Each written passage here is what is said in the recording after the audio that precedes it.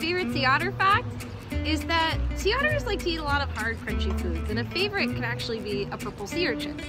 Some sea otters even eat so many sea urchins that it stains their teeth and even their bones purple. My favorite sea otter fact is that they have some like extra skin on their bodies, really movable. So they actually have like built-in pockets in their armpits. They can hide like a favorite rock or little food in there, I think that's kind of neat. Open pockets. My favorite sea otter fact is that these sea otters are kelp forest superheroes. So ecosystems just like the one right off our back deck here are supported by these sea otters when they eat kelp grazing animals like sea urchins and abalone.